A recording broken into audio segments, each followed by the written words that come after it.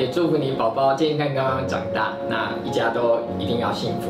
接手不少新生命，妇产科名医核心集团执行长苏怡宁，二十二号晚间因妹妹告发的逃漏税案，再次遭到减掉约谈。核心集团创办人苏怡宁多年前因为一笔两百万的借贷跟父亲闹上法院，现在就连他的妹妹也出面指控苏怡宁涉嫌逃漏税。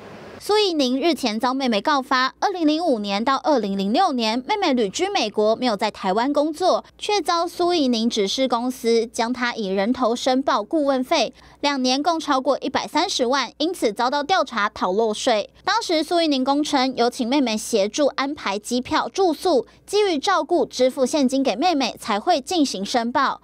但当时时间已经久远，检方认为二零零五年的追诉期时效已过，二零零六年最罪证不足，最终不起诉处分。但高检发现新市政，再发回调查进行约谈。对于林爱罪念，现在已经有超过二十七万人在追踪。核心医疗集团。日前才因为涉嫌替产妇开具不实的诊断证明，向保险公司诈领给付，整起案件包含医师、员工、保险员、产妇，总共一百一十四人遭到起诉。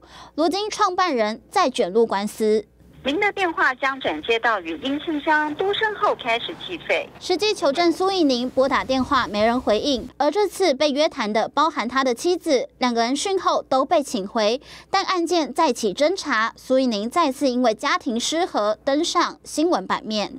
进新闻招杰收尾采访报道，下载进新闻 App，一手掌握新闻时事，尽善尽美，尽好新闻。